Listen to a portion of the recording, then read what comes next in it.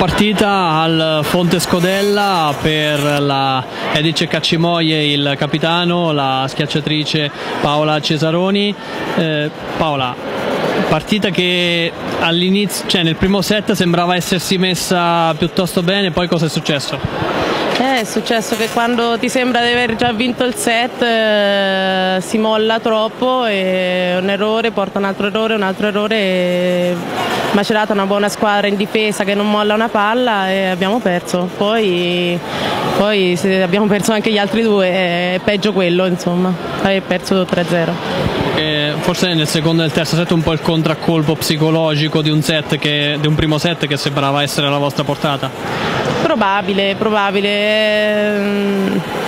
Non, non, so spiegarlo, se lo sapevo spiegare forse facevo l'allenatrice, non lo so. Eh, peccato perché non è la prima volta che ci capita quest'anno, eh, lottare e poi mollare 3-0, perdendo 3-0.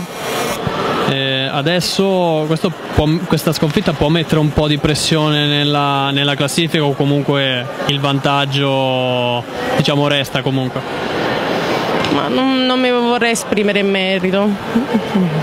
Cioè, fino adesso l'occhio era non se stare sui playoff o meno, ma era l'occhio a chi stava sopra, se eh, puntare al primo posto, al secondo o ottenere il terzo.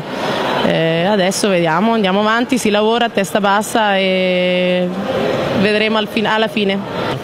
Più di così da questa serata non si poteva chiedere. Beh, eh, direi di sì, un 3-0, no? abbastanza netto, insomma, pieno, contro una formazione forte, davanti a una cornice di pubblico bella, no? con tanta gente, insomma, tanta gente ad applaudirci. Ecco.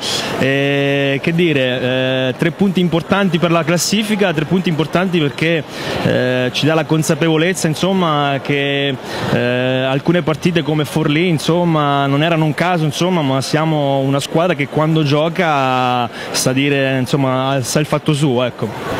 Ha parlato di squadra, veramente tutte le giocatrici, chi, è, chi ha cominciato dall'inizio quelle che sono subentrate alla panchina hanno fatto appieno il loro dovere.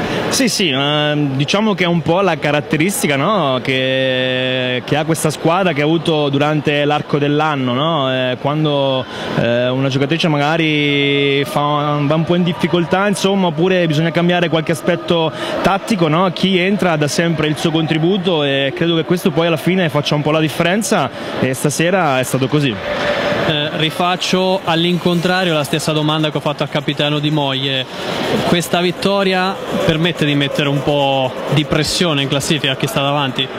Ma sicuramente perdere questa partita avrebbe significato insomma eh, dire non dico addio ai playoff ma quasi no? andare a meno 9 chiaramente poi si fa fatica a recuperare eh, aver vinto questa partita chiaramente mette sicuramente pressione a chi sta davanti no? noi cercheremo di dare il massimo fino alla fine no? poi i conti come dico sempre li faremo alla fine